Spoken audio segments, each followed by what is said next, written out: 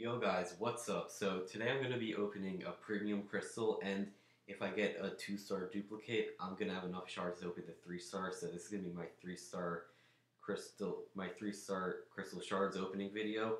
Um, I hope I get, I sort of hope I get a 2 star here because I want to open the 3 star.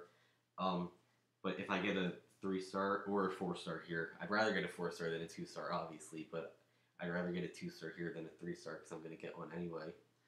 So I'm just going to let this one spin out. This is probably going to be a shorter video since I'm only opening two crystals.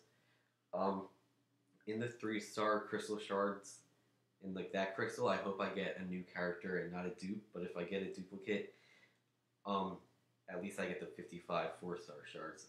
Alright, so it's stopping and I get a... Alright, good, I get a two star storm. So now I have enough shards to open um, the three star crystal as you can see, I got 55 shards there. Alright. So, I need 1,000 more to get a premium crystal. Um, I have 895 4-star shards, and then I have 1,700 5-star, so I'm probably not going to get like the 5-star hero crystal for like another like year or something.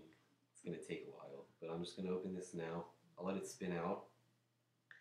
Um, I want Moon Knight because he seems really cool and I don't have him yet. I would like Venom. I don't have Venom. Daredevil. I don't have. I'm just looking to see who I don't have. Magneto. I don't have. Uh, I don't think I have. Oh wait, no, I do have Black Suit Spider-Man. I did get him. Oh, Spider Gwen would be cool because she was just added. I get. I already get a Black Widow. I already have her, so at least I get the uh, shards. So now I'm almost at a thousand shards for the uh, four star uh, crystal, and maybe I'll have enough uh, gold to rank up my Venompool because I'm gonna be selling like ISO 8 uh, Ryan Pool commented that in my last video. I hope I'm pronouncing that right.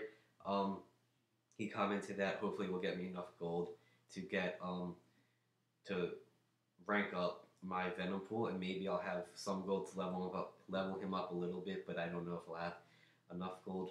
But anyway, thanks for watching. Please don't forget to like and subscribe, and I'll see you in the next one.